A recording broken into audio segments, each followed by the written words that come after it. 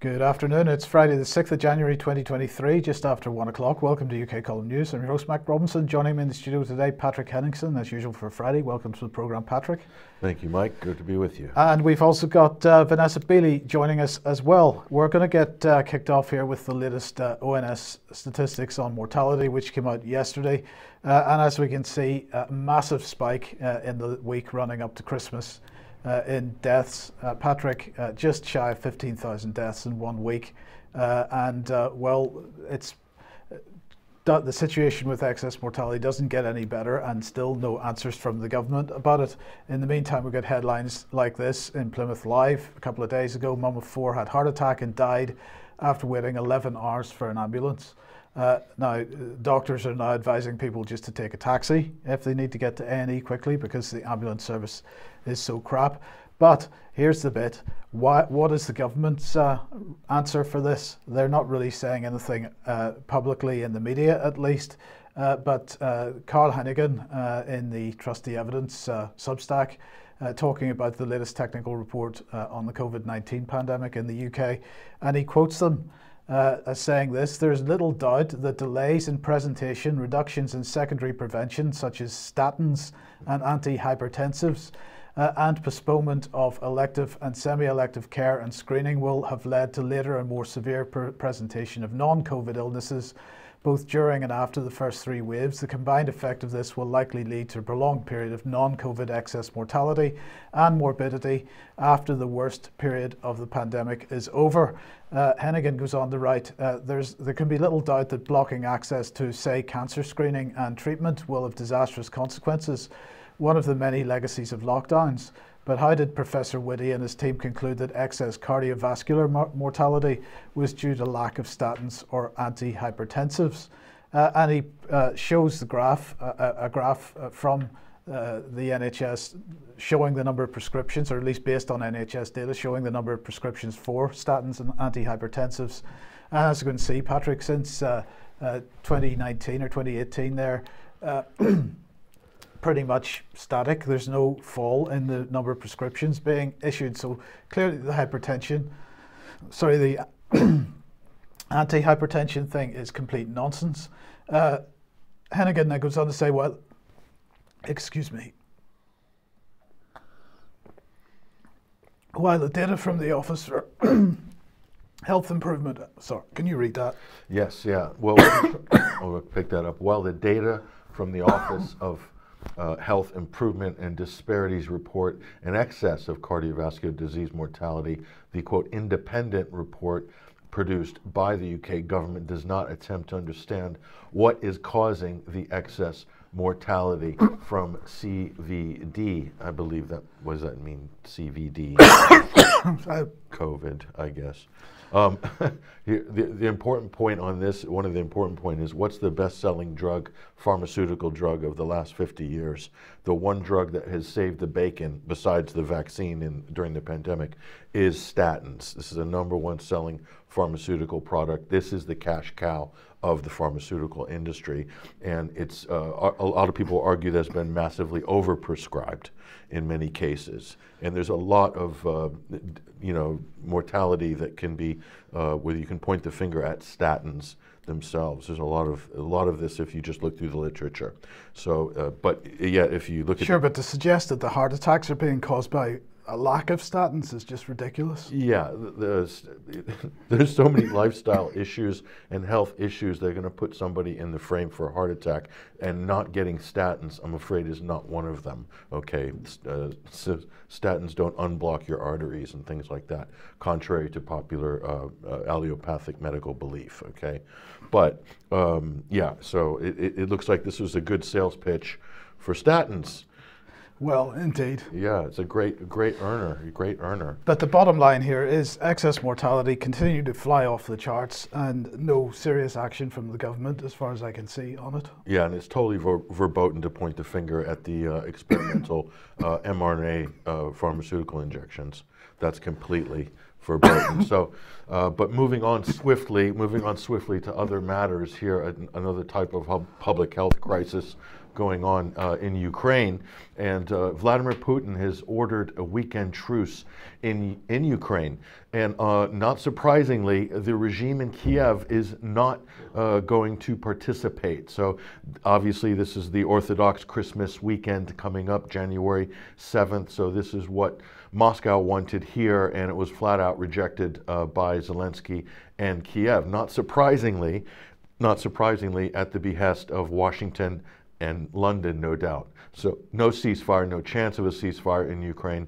So, not surprising at all. So, uh, what is going to happen as a result? Well, surprise, surprise, uh, just minutes, five minutes into the Christmas truce, uh, the Ukrainian forces shelled civilian areas in Donetsk uh, in the first minute, in fact, of the Russia proclaimed Christmas ceasefire. Local authorities have confirmed. So, no big surprise there. Unfortunately, this is the way things are going right now. Uh, so, if you're looking at a long term prospect for a ceasefire or for peace negotiations, uh, it's doubtful that you're going to get that. Uh, looking at this here, they can't even come to agree for 24 hours for or weekend for a Christmas ceasefire. That's completely off the table. Of course, Washington uh, doesn't probably put a lot of uh, weight and credence into any Orthodox Christmas holidays anyway. Uh, and certainly Zelensky doesn't as well because he's um, trying to make the Orthodox Church illegal um, in in Ukraine. So uh, recent reports of that before Christmas, pretty shocking indeed, throttling and trying to restrict people's rights of worship and so forth. So that's the democracy you have in Kiev. But here's the here's the really interesting bit. There there comes a statesman once in a while. Um, unfortunately, this type of statesman is not in office. You have instead a banker, a technocrat in Emmanuel Macron. This is Pierre de Gaulle. He is the grandson of the great Charles de Gaulle, uh, arguably one of the great, if not the greatest statesman uh, in modern French uh, history. And this is what he had to say. This is very prescient indeed. The consequences of the current crisis are reflected primarily in Europe. This crisis greatly weakens the balance that my grandfather always tried to maintain. My grandfather always, always tried to maintain respectful relations with Russia. Public opinion in France is beginning to understand what the evil game of the Americans is today by using lies primarily when communicating with allies within NATO. The United States has managed to use the Ukrainian crisis to destabilize Europe. Powerful words by the grandson of Charles de Gaulle. And he goes on. This is a very important interview he's done recently. We're just giving you, uh, serializing the, the highlights here. The Americans, as it were, cut off Europe from Russia, restored the Europeans against the Russians.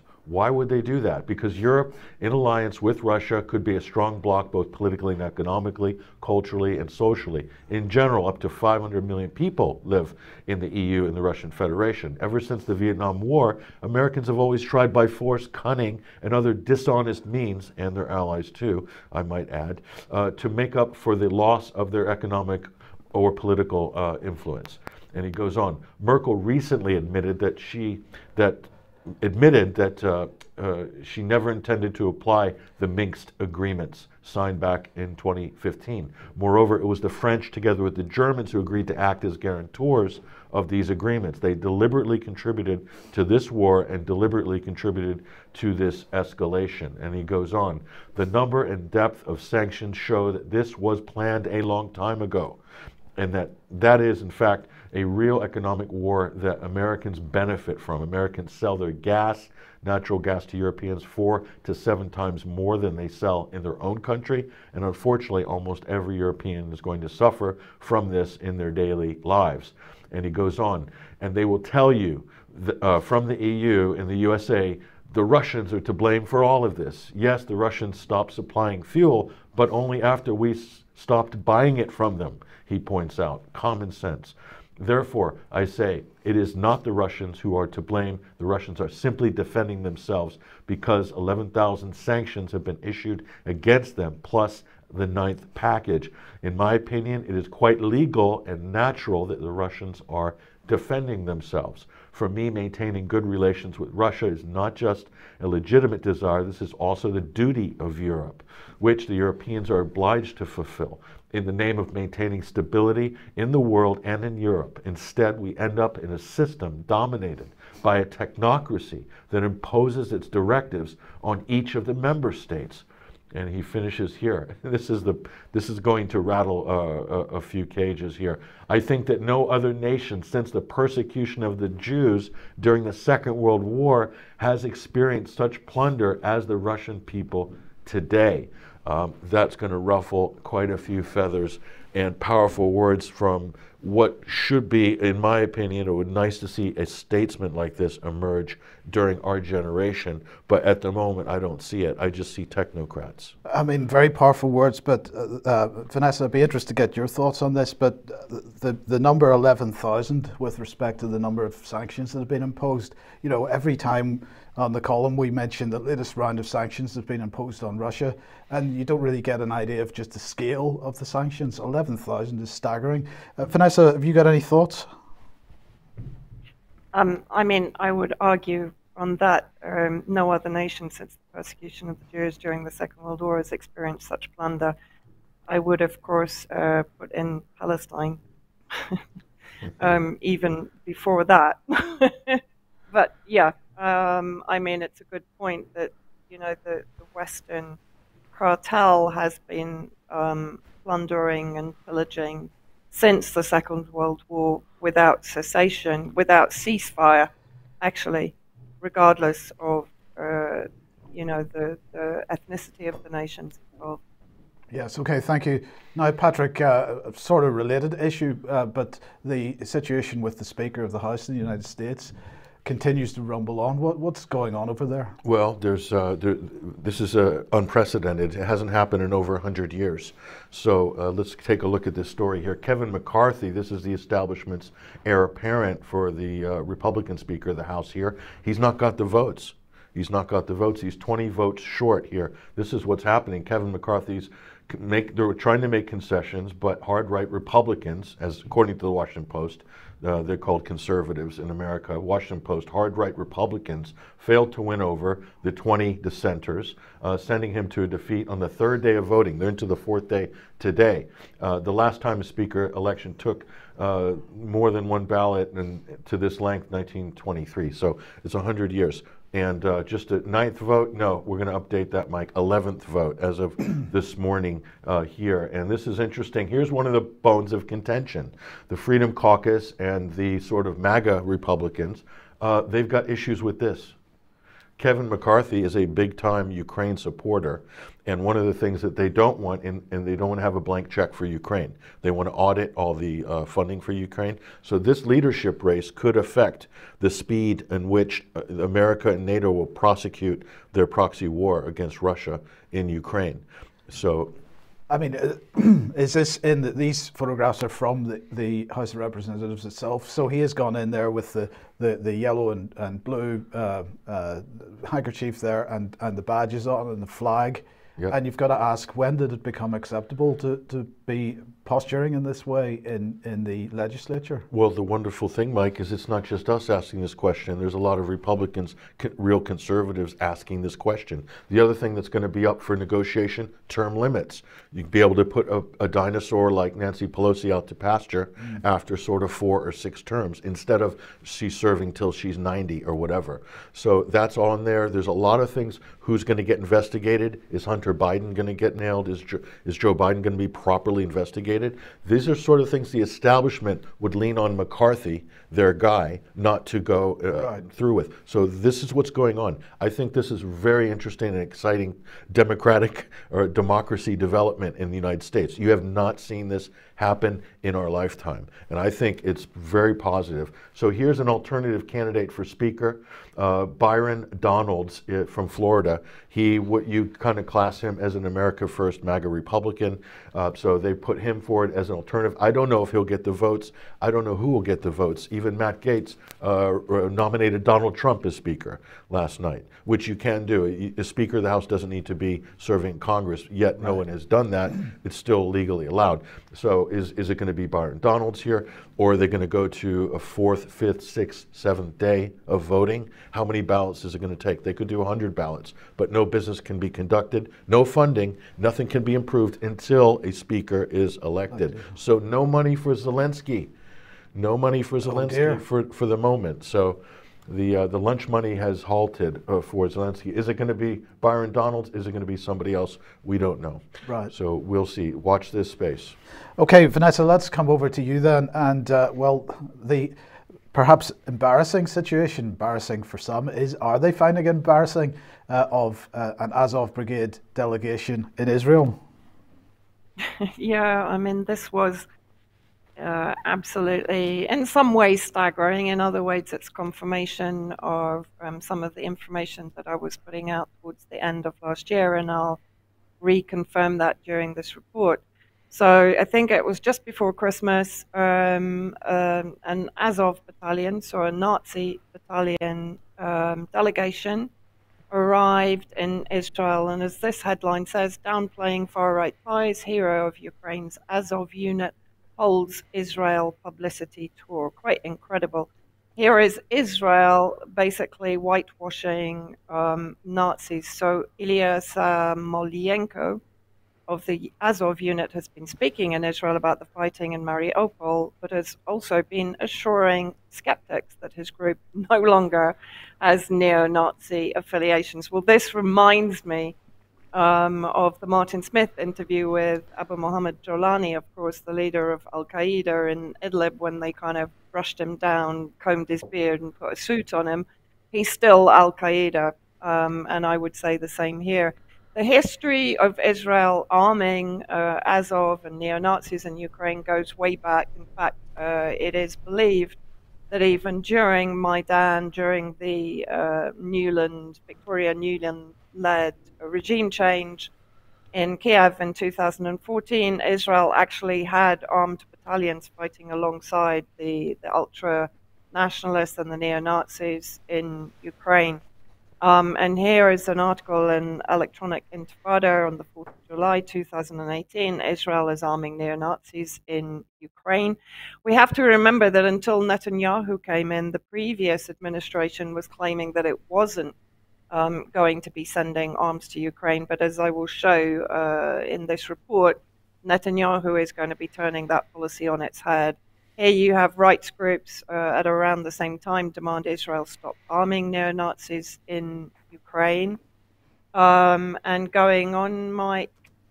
Um, so here we have back to, to the situation just before Christmas. Israel helps Ukraine whitewash it's Nazis, and this is an electronic uh, Intifada report that I would recommend everybody goes to read. Another article in the Jerusalem Post Ukraine's Azov regiment visits Israel. Mariupol is our Masada. Now, what is uh, the significance of that? I'll come on to that in a second. But let's look um, at another member of the delegation, Yulia Fedosyuk, who here is uh, on one of the many photo opportunities while they were in Israel. She also, as demonstrated in the Electronic Intifada article, she also has uh, an ultra right, ultra nationalist background. And I have to say, I mean, it's it's slightly amusing that both of them were laying claim to effectively knowing Jews in Israel but when pushed uh, on giving names, both of them uh, faltered in their story, it has to be said. And here um, is the visit to Masada, as I mentioned, and you will see here the, the Wolfsangel, um, the Azov, uh, effectively Nazi symbol, displayed on the uniform while actually uh, visiting um, Masada, and this is again taken from the EI article, the Electronic Intifada article. Um, the Association of Families of the Defenders of Azovstal show that Samolyenko and Fedosyuk visited Masada, where Samolyenko uh, wrote the Nazi war, sorry, the Nazi link symbol on his uniform. Masada is the site of the mythical last stand by Jewish fighters against Roman forces. I mean, the symbolism of this is quite extraordinary that uh, a visitor to Israel, sanctioned by uh, the Israeli authorities, is wearing a Nazi symbol while visiting um, a Jewish uh, symbolic site. And today, Israel holds swearing in ceremonies for its new soldiers there, and they pledge that Masada shall not fall again. Um, it also has to be mentioned that the IDF welcomed uh, members of the Azov regiment um, um, to their centers to speak also. Um, and images were taken. I haven't verified them, so I didn't include them in this report of Azov fighters um, visiting the Wailing Wall wearing uh, the Jewish prayer cap with uh, the swastika uh, tattoo on the back of their neck. But as I say, I didn't verify that photo, so I'm not going to share it here. This is a, a tweet from um, a, an anti imperialist colleague, David McIlwain, um, also a, a, writer based in Australia, um, addressed to myself and Eva Bartlett, who is currently in Donbass reporting from there.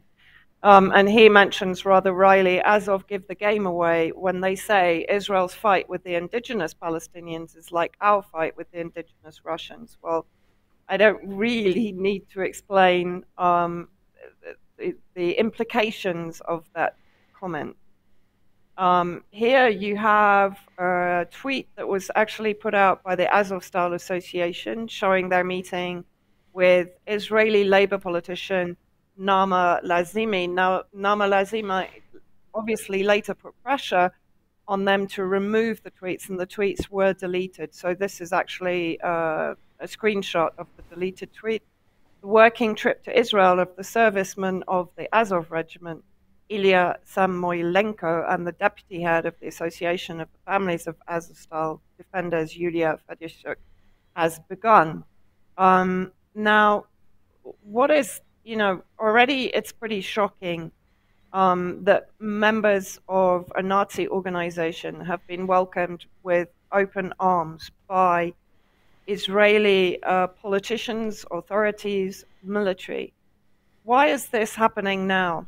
Um, with Netanyahu's uh, re election, what we're having now, and I recommend everybody goes to the Voltaire Network um, website and reads Thierry Meyssan's reports on Ukraine and Russia since the beginning of the special military opera, excuse me, military operation.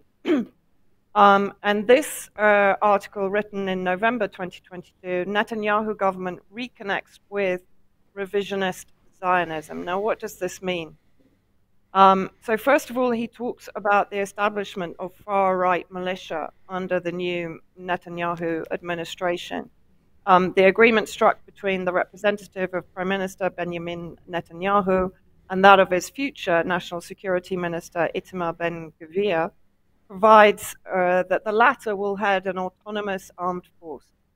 Again, Ben Gvir is a Kahanist, meaning a disciple of Rabbi Meir Kahane, who demands the expulsion of Arab citizens from Israel. Of course, that means either uh, Muslims or Christians, and the establishment of a theocracy. Netanyahu is poised to sign two more agreements involving two other far right formations. So, effectively, ultra nationalist um, elitist organizations, military formations.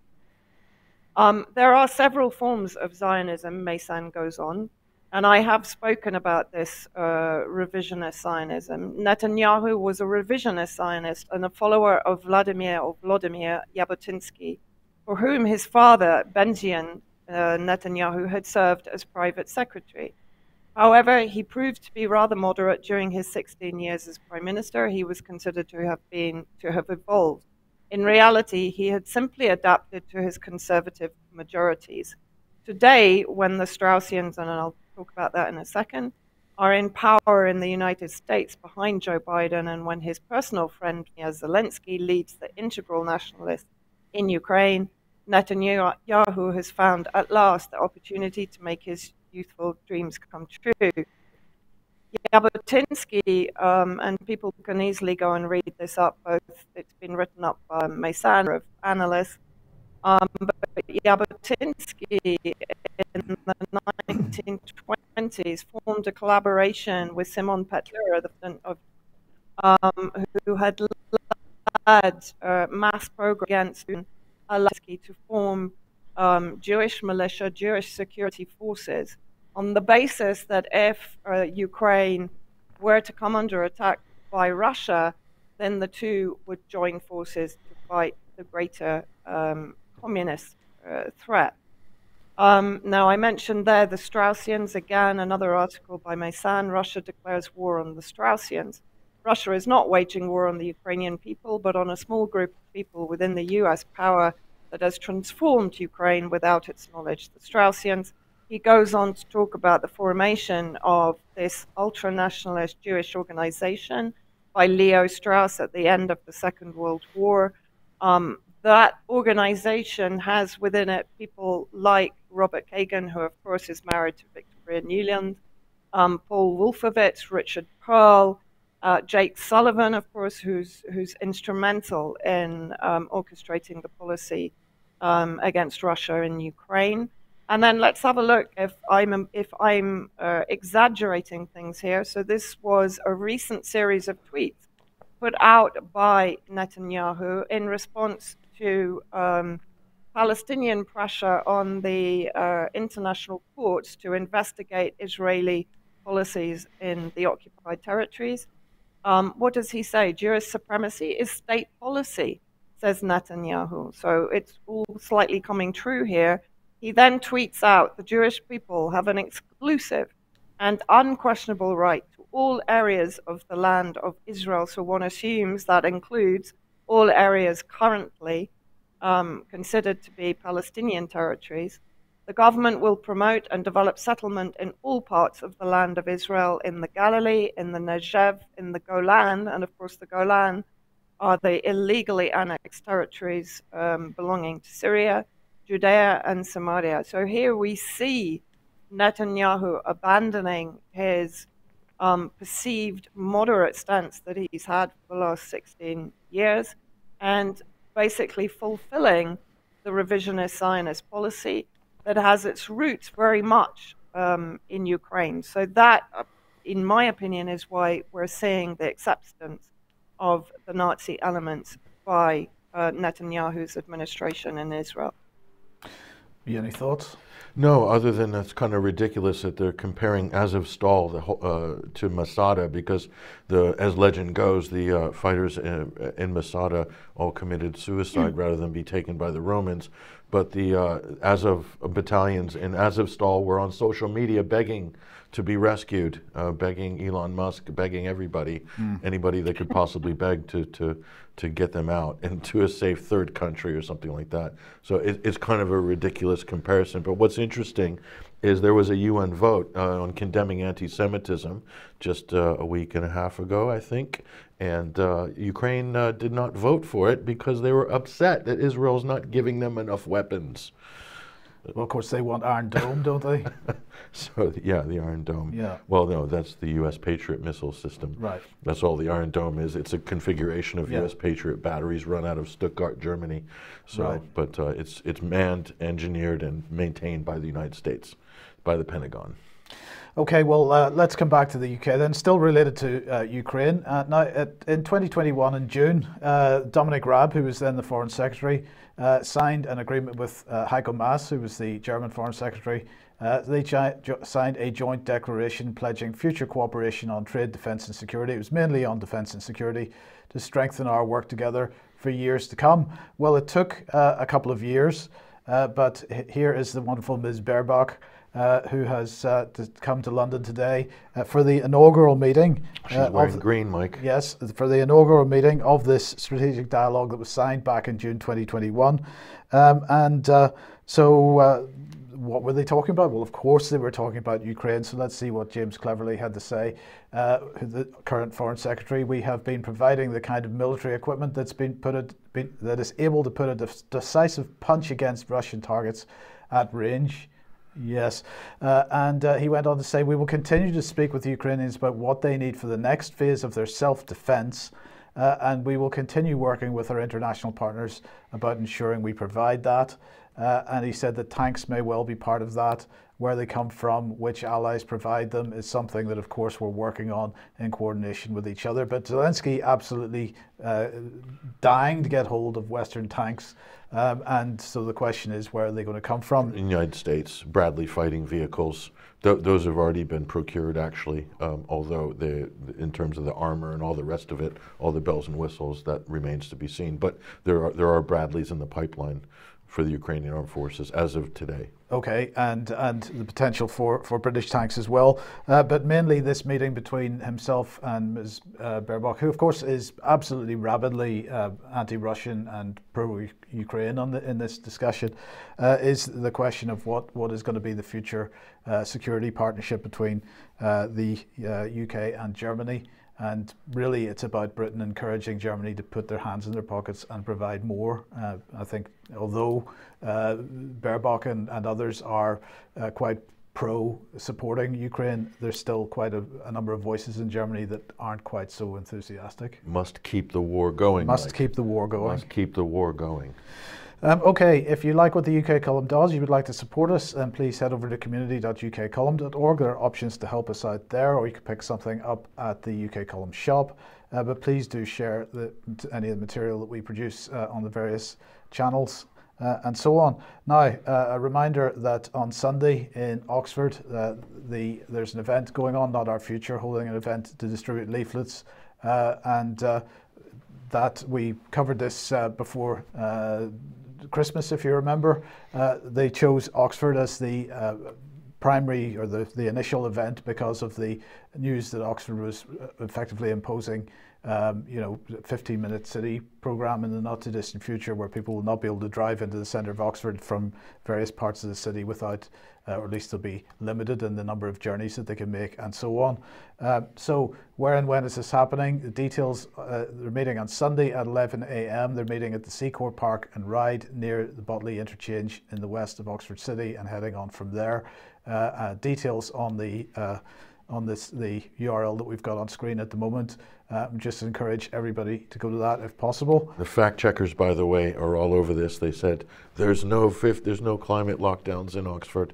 It's not happening. It's not happening. Uh, right. So, what did the fact checkers focus on? They fact the, the fact checkers focused on uh, the suggestion that uh, the gateways, if we call that in inverted commas, would be physical gateways, uh, when in fact what Oxford is doing is is placing uh, uh, cameras to read number plates and so on, so that if you attempt to move from one area of the city to the next, uh, when you don't when you haven't got a, the right to do so, you'll get a massive fine. So, you know, effectively it is a 15 minute city. Uh, effectively it is a climate lockdown of a, of a kind, but uh, the, never worry, this fact checkers will make sure that uh, you, they, everybody understands the, the truth. Eh? That's right. Yes. That's right. Uh, and uh, just another quick uh, reminder of on tomorrow, in fact, 1 p.m. St. Giles Cathedral, truth be told, giving a voice to the injured and bereaved as a result of the vaccination program and other uh, COVID related uh, government policy. That's taking place in Edinburgh tomorrow. Uh, so get along to that one as well. So Patrick, uh, let's get back to uh, international events and Japan and NATO. Well, look, everyone's talking about China. China is now sort of the sort of public enemy number one uh, for the United States and Britain as well. They're making a lot of noise about China. AUKUS, these uh, defense agreements right. to push the nuclear assets there into the Pacific region. So what does this mean? Well, this is kind of a big story here. Uh, this is really kind of turning the clock uh, back or changing directions on 80 years of post World War II uh, uh, history here for the West. Japan is unveiling an unprecedented buildup in arms, 320 billion over the next five years. So this is very, very important, and people need to pay very close attention here. Uh, Prime Minister Fumio uh, Kishida's government worries that Russia has uh, set a precedent that will encourage China to attack Taiwan, uh, threatening nearby Japanese islands, disrupting supplies uh, of advanced semiconductors, etc. You can see where this is going, yes. and putting a potential stranglehold on sea lanes that supply Middle East oil. So, why is this important? Well, uh, Japan's constitution forbids military buildup in offensive military forces. So this is going against the post World War II uh, Constitution. Interestingly, that's a constitution the United States wrote for Japan and had them ratify. So why and who is pushing Japan to rearm? And here we have the answer strategy of tension. Japan rearms under pressure from Washington. This is an excellent article by Sarah Flounders. She's a prominent uh, anti-war activist, very much on the sort of traditional left uh, there. And let's take a look at this strategy of tension. Well, look at this. So, dangerous shift in policy. China is Japan's largest trading partner in both imports and exports. The previous national strategy document said that Japan was seeking a mutually beneficial strategic partnership with China. Suddenly, Japan's strategists start labeling China as the greatest strategic challenge uh, in enduring the peace and security of Japan. That's from the U.S. Institute of Peace on December 19th. Uh, Japan has expanded trade with Russian gas oil, cars, machinery. So previously, Japan's uh, December 17, 2013 National Security Strategy document called for enhanced ties and cooperation with Russia. You got the Sakhalin natural gas projects, things like this. Now Japan considers Russia a strong security concern. Does Japan consider it that, or does the United States consider it that, and it's imposing that policy on Japan. Well, it looks very like it, isn't it? it? Because it's just a coincidence that Japan has done a 180 on the two countries that the West considers to be the uh, uber enemies of the day. Mm-hmm. And it goes on, it gets worse. Using North Korea threat as a cover. Interesting here, Japan has previously justified its remilitarization by claiming North Korea is a threat. However, retired maritime self defense force uh, Admiral uh, to, uh, Tomohisa Takei uh, told the media that China has been the main target for uh, which Japan has been preparing by using, quote, North Korea threat as cover. So this is something that we have suspected for a very long time. Uh, and of course, we've got this uh, furore now between North Korea and South Korea at the moment, with threats of withdrawal from various agreements right at this moment, just in time for this uh, it, initiative. Absolutely feeding into this. So that's Associated Press, December 17th uh, here. So a U.S. Japan alliance is now defined as a cornerstone of Japan's national security policy. This is a 180 degree turn from where they were before. Mm. And so if you talk about the pivot to Asia, look at this arming up Japan to point at China. So let's take a look at this here. Here's the important part, Mike.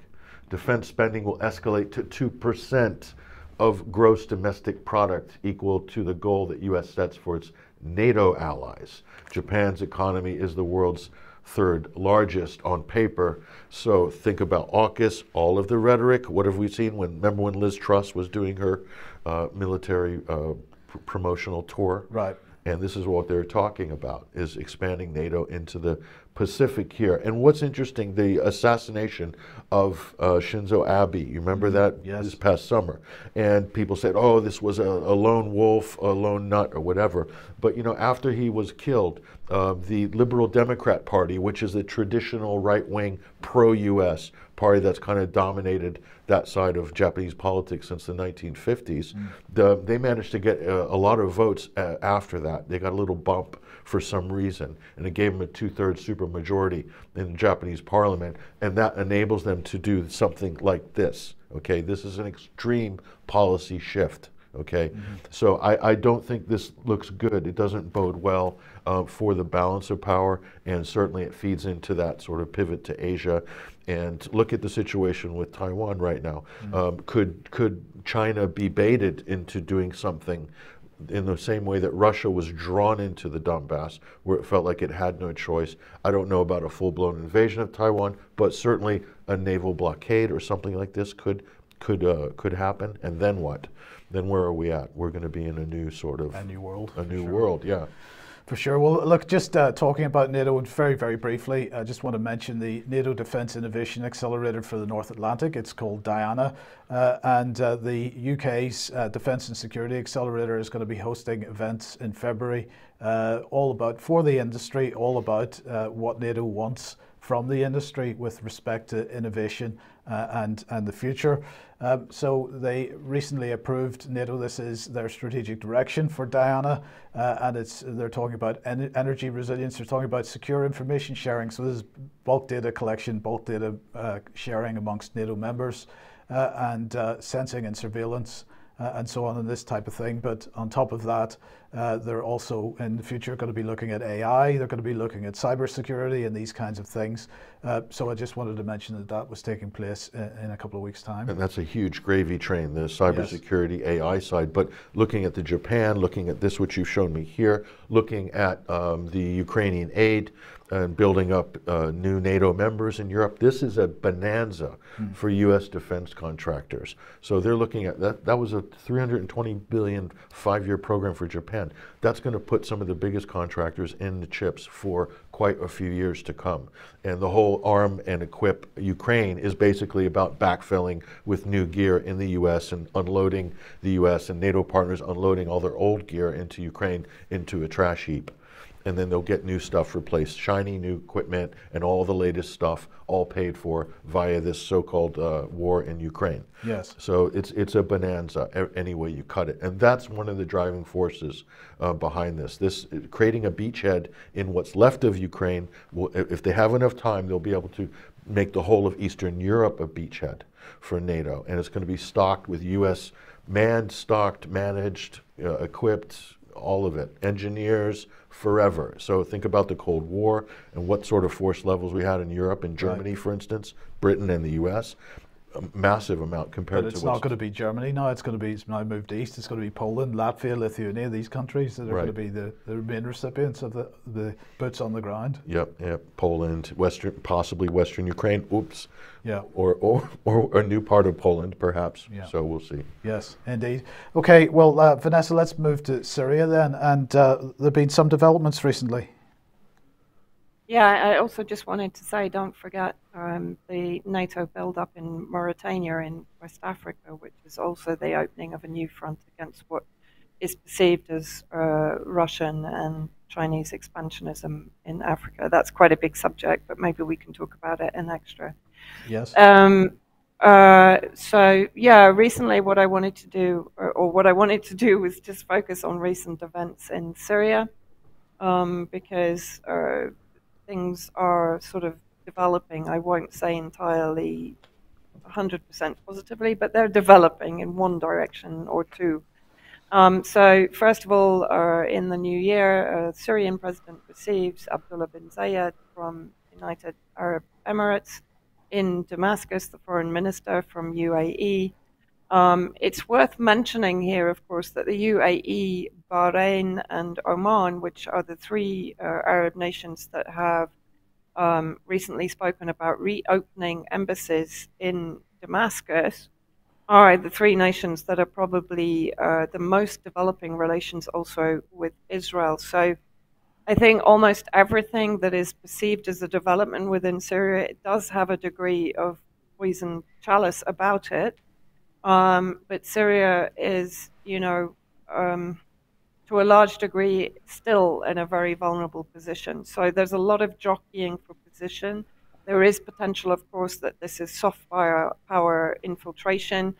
Um, Israel and the West and the Gulf states having lost effectively the military war in Syria. This can be perceived as the next stage. However, um, with the economy in uh, under siege and in free fall, um, you know, any development on the trade uh, and financial front is a positive for Syria. Now, the other aspect, of course, that is ongoing are the negotiations between um, Turkey, Russia, and Syria, and a recent meeting between the defense ministers and continuing talks between um, the heads of intelligence in Turkey, Russia, and Syria to try and resolve um, the issue in northern uh, Syria, where Turkey, of course, has been sort of rattling sabers and talking about ground invasions to counter um, the PKK, Kurdish separatist threat, um, which, of course, is uh, a proxy of the United uh, States. Erdogan um, is making a lot of noise about the fact that he and President Assad are destined to meet. Of course, we have to put this into the context of uh, we're coming up to elections in Turkey in June 2023, and as I keep saying, Erdogan knows that he is vulnerable to uh, what in Turkey is, is not really a very substantial opposition. But however, the refugee crisis is a major Achilles heel for Erdogan. So he needs Syria and Assad to help him resolve that issue. And so what we're seeing now at the moment are negotiations to try and um, push the Kurdish separatist forces back 30 kilometers inside Syria. Um, for the Turkish proxy forces, which are effectively Al Qaeda based and, and origin, um, to withdraw them to the Turkish side of the border and for the border to be secured by the Syrian Arab Army. That is the ideal solution. So that's what Syria is trying to achieve through these negotiations. Erdogan, of course, is trying to achieve his own gains um, and his re election in June.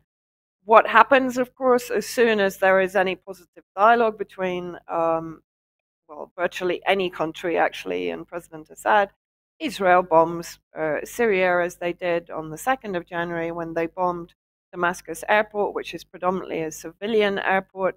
It's a commercial airport, um, killing two Syrian Arab army soldiers. And of course, Jerusalem Post and the majority of Western media, fed by Reuters and AP, etc., claim um, that it was a strike on Iran's Quds forces. Uh, it wasn't. Um, the, the the uh, majority of damage was to the airport itself. However, it's now uh, up and running again after two days. Um, and I would recommend that people go and watch this recent interview. It came out yesterday, I think, between Camille Otrakji on the left, who's um, a Syrian intellectual who's been writing uh, or researching uh, really a lot on the Syrian war since pre 2011, and Kevork Almassian, who people probably know as being the founder of Syriana Analysis. Um, this dialogue is, is a very important one. It goes into a lot of depth about the history of the conflict uh, in Syria, the uh, Western uh, really hatred of Syria and Syria's alliances, and how through Syria's steadfast adhesion to, to, the, to the real resistance in the region, that's what led uh, to the war that began against them in 2011. And it talks about the number of players now involved both in Syria and in the entire region and how difficult it is now um, to, to reach any possible resolution because you have Iran, you have Israel, you have Turkey, Qatar, Saudi Arabia, um, Syria itself, of course, you have all of the Western uh, cabal EU uh, states UK, US, Australia, New Zealand, Japan, etc., all of them, and China, of course, for the Belt and Road Initiative, all of them um, involved now in Syria. And so, therefore, they don't really come to any conclusion, but they agree with me that resolution of this crisis now is extremely difficult and it's going to take um, really some masterful negotiations between uh, Putin, Assad, and the various other um, nations that, that are taking part um, in this conflict in one way or another. Brilliant. Okay, thank you very much for that. Now let's come back to uh, more slightly more domestic issues and the issue of uh, censorship, Patrick. And uh, will the Twitter leaks continue?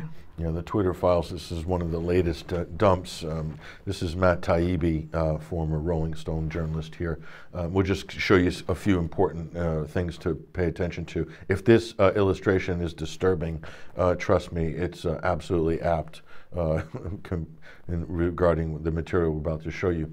So the FBI's belly button, what does that mean? Well, that was what Twitter became, became the access point for the FBI here. Matt Taibbi, in 2020, Twitter was struggling with the problem of public and private agencies bypassing them and going straight to the media with lists of suspected accounts. You see how this game works? Mm. Brigading the media, saying, How could you leave these people or allow these people to use your platform? Suspected what accounts? Russian disinformation, disinformation, fill in the blanks, COVID disinformation. You see how this goes. So it's government agencies of various uh, stripes putting pressure on social media companies to ban these. Otherwise, they'll go public to the press. Mm. Okay, so this is how it works. And take a look at this here. This is a, uh, one of those emails that reveals this is from, uh, well, regarding uh, Elvis Chan, the notorious FBI agent out of the San Francisco office organizing industry calls, Mike. an industry call. What's an industry call? This is when all the heads of Google, Wikipedia, Twitter, Facebook meet with the government agencies, meet with the FBI, the DHS, or quote, other agencies, that means the CIA, uh, plus the uh, Health and Human Services in charge of COVID policy and things like that. So these industry meetings, and this the Wikipedia angle is very interesting. Um, thinking about the uh, what's his name, Philip Cross. Philip Cross, not him, the the entity known as Philip Yes. Cross. Um, so this is interesting here. So uh, the state also flagged uh, with the Google disclosure of Chinese APT targeting campaigns. Uh, we may receive outreach from other U, U.S. government agencies. So there's a whole story that's been crafted here, post uh, 2016 election about Russian interference Yeah. or uh, the Internet Research Agency and so forth. Let's take a look at this. Here's another one uh, here. And so again, they're giving more detail here. That Yoel Roth, head of content moder- management or moderation or whatever, the censorship czar at Twitter, is this is an email from the FBI. From the FBI, basically telling him, yeah, we need to, we need to get direct access um, in there. We want Twitter um, to be the FBI's uh, belly button uh, into censorship, basically. And they're, you know, they did push back a little bit in some of the emails, but in, in the end, they complied. In the end, they complied. So this is interesting. So February 2020, as COVID broke out, the Global Engagement Center. What's that? The Global Engagement Center, a fledgling analytic type intelligence arm of the State Department, went to the media with a reported a report called Russian Disinformation Apparatus Taking Advantage of Corona Concerns. So they melded Russia and COVID together there. This is what's going on behind the scenes to draw up blacklists for deplatforming, shadow banning, and uh, erasing tweets. So here it is. This is it. This is the, uh, the, the GEC, uh, the Global Engagement Center, Russian disinformation taking advantage of the coronavirus concerns. So this is a completely made up scenario here. Russian linked accounts. So how do you verify that? You don't. You This just just say it, it is one, and, Say- and it is. so the database in total, something like you know thousands of accounts. Uh, I saw one Excel sheet with 2,500 accounts, and in total, up north of 20,000. Right. 20,000 accounts, more than that, maybe in the hundreds of thousands. I'm not sure. So let's go back here. December 22nd, we highlighted this on the UK column news before Christmas. Spooks infiltrate Silicon Valley. Facebook is riddled with ex CIA agents, including the president's briefer, who now runs a quote harmful content team. So many ex FBI uh, work at Twitter, they have a Slack channel, and Google is rife with ex CIA. So this this happened, and people pay attention because this gets closer to home. Mint Press's Alan MacLeod uh, found that former CIA agents made up some of the top ranks in almost every politically sensitive department at Meta, aka Facebook. Okay, and he goes on, and he also found that former FBI agents migrated to Twitter in droves. So you see them moving around mm. from organization to organization. DailyMail.com has been able to track down many of these former intelligence officials who are now working at top tech companies. So they've colonized the entire Silicon Valley with spooks. So, and not only that, so that's how they liaise directly with government agencies as well. So, and also this is going to control information behind the scenes in terms of internal comms. So this is just bizarre, but it's also really shocking. And I'm going to ask you, is this happening in the UK with the heads of social media firms? And do we just not know about it yet? Uh, it, I think there's no question it's happening in the UK. The UK began the, this whole process of censorship by bringing the tech companies into 10 Downing Street for meetings with Theresa May and Amber Rudd at the time. So this whole idea of government uh, intelligence services and social media companies working together is something that began here. So there's no question in my mind that, that, that, that this is exactly what's going on. Ditto with the EU. Yes. Ditto with the German government, Yes. with the BND and French intelligence. Okay, so uh, so here's the problem. After the 26 election, Russian interference on social media, disinformation campaigns, it's fiction. They made it up. This came. We now know from the WikiLeaks and the Podesta emails and so forth. All of these various troves. This was created by the Clinton campaign to create a sort of uh, a distraction from the fact that she was exposed as railroading the Bernie Sanders campaign. So they had to create the Russian disinformation, the Russian interference. It was completely fictional.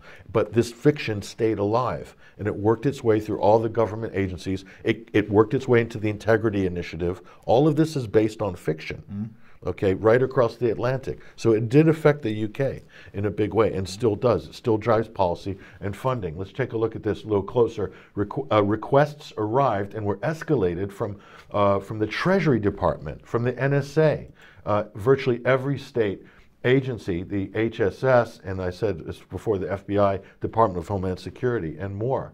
And they also received an astonishing variety of requests from officials asking for individuals they didn't they didn't like to be banned, literally drawing up lists of individual accounts, including journalists. Here, the office for uh, the head of the House Intel Committee, Adam Schiff, the king of Russiagate, okay, asking Twitter to ban journalist, well-known journalist Paul Sperry. Okay, let's take a look. Here's the email here. There's Adam Schiff. So, by the way, they closed the January 6th committee finally this week, so that's been put to rest for now. But this is an email from Schiff's chief aide to Twitter, basically saying, delete Paul Sperry, get him off your platform. That is a, a ranking congressman member telling uh, a social media company to basically delete the account of a well-known journalist. Mm. That happened. And this isn't just the this isn't the only example. So that's what's going on. So that's uh, it, it, it's the, the, complete merger of big tech and government. Mm. And this is corruption on a level. This is the biggest tech scandal uh, in the history of tech, in my opinion. But how come you're not reading about it in any of the major newspapers? It's completely silent. Mm. Only 10% of the media are reporting on this. So this is the biggest story. It's the biggest scandal. This is the most amount of evidence. This should this should rock the political establishment. It should have radical rethink on what government's actually doing and why, and that's not happening. The come to Jesus moment's not happening. Mm. That should really frighten people. Mm. I think, more than anything. So the censorship uh, gravy train, Mike, uh, hit New Zealand recently. Uh, Jacinda Ardern, the Ardern regime here, uh, a magazine peddling, quote, a mosque attack conspiracy has been pulled from Whitcoulls. That's a W.H. Smith equivalent right. uh, down in New Zealand. And let's take a look at this. A conspiracy theory magazine suggesting that Christchurch terrorist attack was a false flag uh, operation appears to have been pulled from the shelves after a Twitter campaign. Okay, and there's these kind of anti uh, war hate groups and so forth that are front running this. Mehmet uh, Sabahattin, an editor involved in that special issue, defended it, saying it focused on conspiracies, metaphysics, and high strangeness, and he did not claim to be uh, a regular. Uh, it did not claim to be a regular news magazine. So who are they talking about? New Dawn magazine has been banned in New Zealand as a result of this. So I know New Dawn magazine. I write for New Dawn magazine. So let's take a look. Not only that, Mike uh, magazines sold in Whitcoulls could get readers in legal trouble here. The Disinformation Project Director, Kate Hannah, uh, says that while some of the articles would be harmless, the one about the mosque attack details uh, and where to find the banned live stream attack could get you in trouble with the police. So, looking at it, this is a step beyond downloading, distributing. No, looking at it, just looking at it in print, and it tells you where you could find it in the article. Okay, this isn't a, a, website with a hyperlink. It's a print article. Yep. And this has been on the shelf for decades in New Zealand, and now it has been banned. Uh, and also the uh, the people running these uh, brigading like stuff, this uh, New Zealand uh, media outlet, they get state funding. They get millions of dollars to fight COVID disinformation. Mm. So what exactly are, is the problem here? I think it's bigger than that. New Dawn magazine has been putting out a lot of material uh, challenging the vaccine narrative challenging lockdowns, challenging the COVID narrative, and it's gotten a lot of traction in Australia and New Zealand. Here's the latest issue here. We'll put that up on screen. That's the magazine that I wrote the 2023 lifting of the veil. That's the New Year's edition. Okay, there's also a special edition. So they're really scared, even a print Mike, uh, and they basically the reaction of the Ardern regime: pull it off the shelf and burn it. So one one mention in one article of this uh, controversial incident that a lot of people are still debating and wondering what exactly happened. And literally the reaction because of the press getting involved, pressure from the government, tear, take it off the shelves and ban it forever. Yeah. So pretty pretty incredible, but not surprising considering it's New Zealand under the current regime.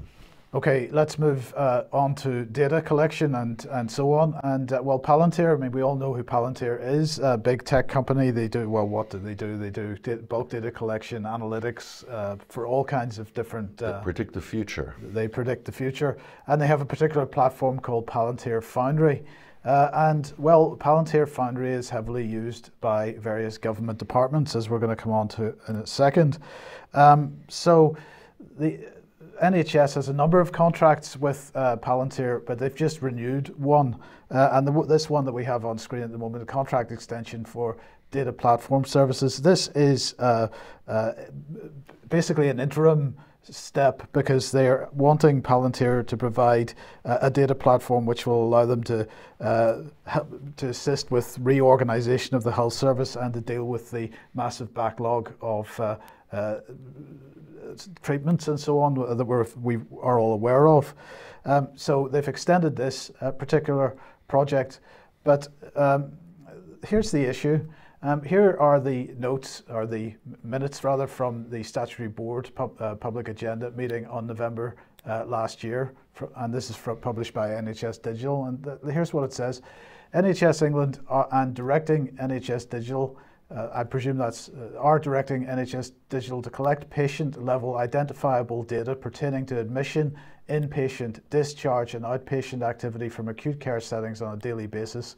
This accelerates the collection and sharing of that data in a way uh, that will enable, not quite sure what it will enable, but that's, that's their text.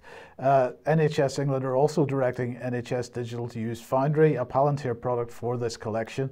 NHS England own the contractual relationship with Palantir. This creates a complex relationship where NHS Digital will be the data controller for the collection, but will use NHS England as a data processor and Palantir will be a sub-processor.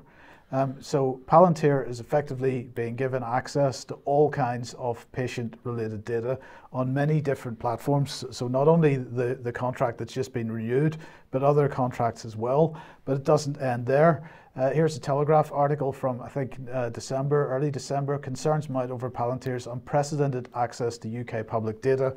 And what are they talking about? Palantir's Foundry system will be able to identify and cause the cause of holdups at the border by pulling together information from HMRC, the Department for Environment, Food and Rural Affairs, the Home Office, and the Department for Transport. This is incredible. And you know, we've got the British government talking about their new data strategy, and their data strategy seems to be about handing over every possible piece of data uh, on all of us that they have, whether it be health data, uh, uh, tax records, whatever, to organizations like Palantir. I think people should be extremely concerned that's about a, this. That's a big tech company based in California. Right. So uh, some of the uh, doctors' associations are already uh, trying to deal with this, at least with respect to the NHS data. So this is Doctors Association UK, sorry, with with a number of others, and they have they're attempting to bring a uh, judicial review on the relationship with Palantir, but then we've got other uh, organisations running campaigns to try to get Palantir out of the NHS completely. Uh, so this goes on. Um, so I mean, I don't know what your thoughts are on on this type of bulk data collection and handing it over to organisations like this. Is all this data magic? Is it going to reduce the waiting time? Uh, is it going to cut down the uh, what's it, 12 million? On a waiting list now? Uh, at least a 13, 14 million 13, is more 14 likely. Million. I mean, how much is Palantir going to speed up that process? Is Palantir going to hire new uh, nurses and doctors, get real doctors in? Is it going to magic up some money maybe for the government? Uh, or could it be that since Palantir is developing an entire life sciences business and Britain is positioning itself to be the, the global lead on life sciences, uh, that this relationship life, with with uh, with Palantir might be very important to what's, them? What's life science? Well, you go ahead. It's big pharma. That's right. a, that's a euphemism by big pharma. When you see the term life science, when you see government people say it, that's to camouflage big pharma. That's the term created by big pharma to make it look like it's in the business of biological science, when in fact it's not. It's in the business of petrochemicals and genetically modified organisms. That's what the life sciences is, just so people know. It's drugs. indeed. So, but the issue of bulk data collection identity management is another aspect of this. And uh, well, here is uh, the latest. This is a consultation that the Cabinet Office has launched, and I absolutely encourage everybody to get involved in this. This is with respect to the Digital Economy Act 2017. Uh, the Identity Verification Services objective. Um, so the Cabinet Office, they say, are seeking views on a proposal to support fast, safe and secure departmental data sharing uh, to enable access to online government services. But in order, in order to enable this data sharing, they've got to uh, actually identify the people that they're doing business with. So this consultation, which is going to run for eight weeks, focuses on amending existing legislation to make it easier for citizens to prove their identity by supporting data sharing uh, and identity reuse across government. It will do this by strengthening the legal basis for public sector data sharing uh, for identity verification processes. Um, so they're saying as part of and this is the key point, this is going to be part of what they're calling the one login program. Now, uh, people are having to uh, deal with the government on a digital basis on a much more regular basis. If you want to renew your car tax, you want to renew, uh, deal with HMRC, much of it is all is digital these days. The government's pushing very hard for this, and every time you uh, interact with a government website, each of these government websites is a different login. You've got to set up a new login, a new password. You've got to prove who you are to them, and so on. Uh, they want to take these multiple different logins and merge them all into one uh, login. So you'll have one login for the entire government IT estate.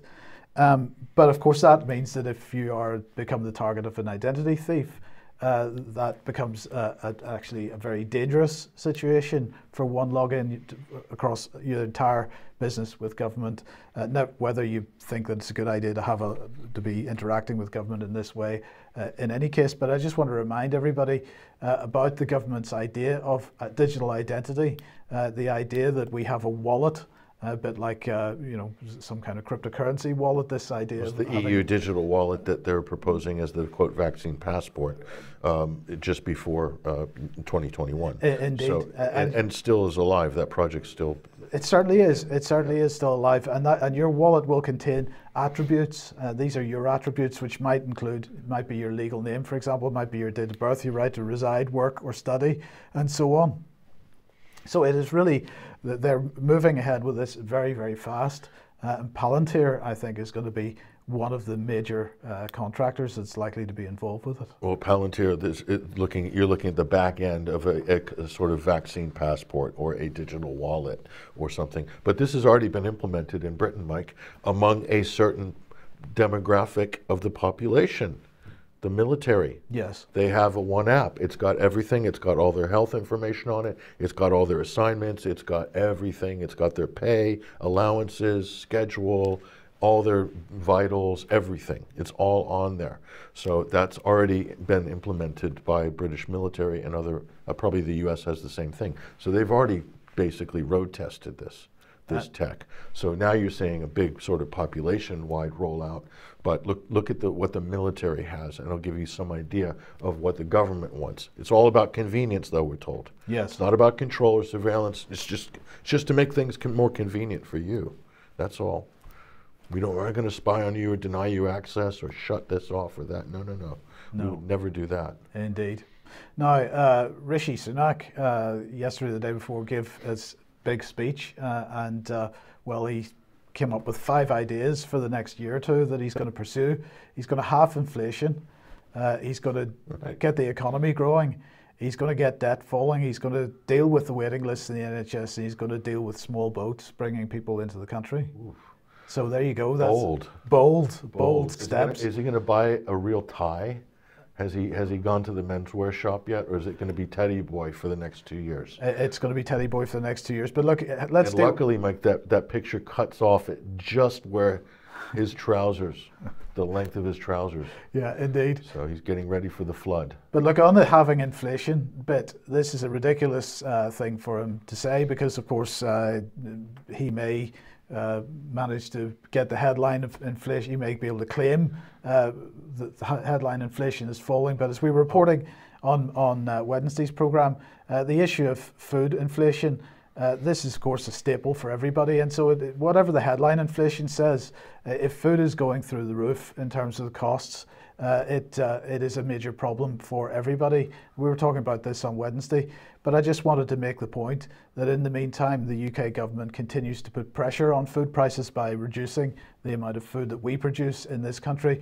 Uh, we've got uh, new cases confirmed of, of uh, bird flu, uh, and of course, they're culling the, the flocks. Oh, really? Yes. Why are they culling the birds? this is, is sla- slaughtered on suspicion is policy. It be, is it because the bird flu is deadly? So or no, it's so they won't suffer. Have you read the literature? Yes, yes. They said it's because they don't want the birds to suffer. So the best way to keep the birds from suffering is to kill them. Yes. And kill them en masse, and that does what to the price of poultry? Puts it through the roof. It drives it up. So uh, the the whole bird flu and bird culling thing is a total scam. Look at the science behind it. People go and research. There's absolutely nothing in there. So this is total market manipulation writ large. Indeed, and here's some more market manipulation because sustainable farming is the uh, is the big thing. They've been talking about it for a number of years, uh, and the uh, the the program that they are running for this isn't so popular with farmers because they're basically not paying enough money. Uh, but the idea is that farmers uh, really stop producing certain types of crops which are viewed as being not sustainable. Um, so, for example, uh, sugar beet, or well, but more importantly, potatoes uh, couldn't be uh, grown during the winter because uh, that, that would be unsustainable. Uh, and really doesn't fall under the, uh, if you're going to fo follow the rules of the payments that you get under the sustainable uh, regime, uh, then you can't grow things like potatoes and so on. So uh, again, pressure on oh, food production in the country. So growing food's not sustainable. No, it's not safe. No, no. We, we need to be growing more woodland. We need to be growing more grassland. We need to be growing more wildflower meadows and and so on. Uh, we don't want to be producing food. We don't want to produce our own food because that would be risky, right? That would be we don't want to grow local, right? We don't. No, we should import it from Zimbabwe. That's better. That's better for the planet, right? Well, of course it is. It's more sustainable. Let's import the. Let's send the sweet corns uh, ten thousand miles by boat. That's more sustainable. People, don't you understand how the green, the green policy works? Um, but sticking with, uh, just well, finishing actually with economic stuff, we're seeing now huge numbers of job losses starting to appear slowly. Uh, where do you think this is going to go? Uh, I, am expecting Rishi Sunak is going to announce that uh, he's going to create some jobs, uh, good, good paying jobs, good green jobs to fill this gap. No, when Amazon starts cutting uh, jobs like this, Mike, you know that there's some serious problems coming, and it means that people the spending's down, non-essential items are down. Mm. What does this mean across the board for uh, retail, for food, for uh, tech, everything? It means if sales go down, profits go down. If profits go down, stocks go down. So you're going to see another stock market crash in the new year. It's it's almost a fait accompli. Of course, it will be sustained by indust, you know investors buying on the dip, but it's this is a huge problem. Does this mean there's going to be we're going to recover from the recession? It doesn't look like it. It doesn't look like it. But don't worry, Mike. I, I predict Rishi Sunak's solution for inflation is going to be vouchers. He's going to, he's going to just write up some vouchers and give out vouchers inflation busting vouchers. That's my prediction. Okay. Well, of course, he's already doing that uh, with respect to energy.